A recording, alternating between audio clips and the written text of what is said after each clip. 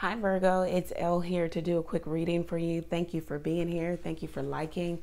Thank you for sharing. Thank you for commenting uh, down below. Um, let's get into it. Thank you, God, for blessing Virgo with a clear, concise message from you.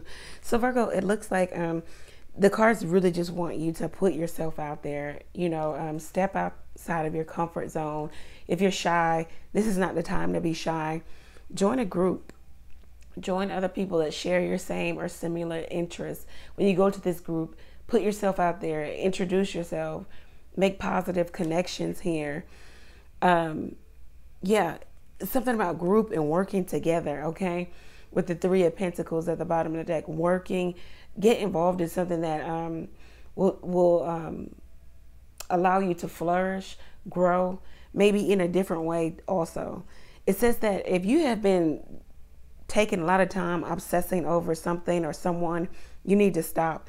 You need to move forward. You need to face your fear and get over it. If this is making new friends, if this is getting out there trying to find a new love, a new lease on life, you need to let it go. Some of you have been in the neutral state of life where you haven't been doing too much.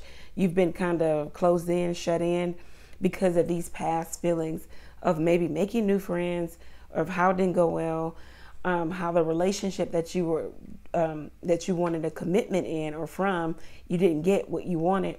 And but the cards say six of wands. Put yourself out there. Understand that um, you can get out there get the attention that you deserve meet new people stretch your stuff know that you um, you deserve this and also a high level of self-esteem too. You'll gain that also. It says stand on your own two feet. You've got this whatever this is especially if it has anything to do with profession or professional.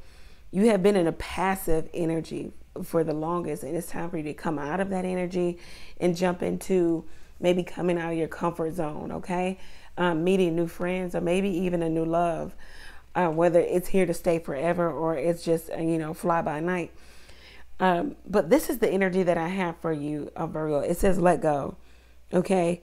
Um, and stop upset, obsessing over the negative or what could happen or what did happen or what happened in the past or a person that isn't you're obsessing over a person where you're not getting out. You're kind of just overly thinking about this situation this relationship.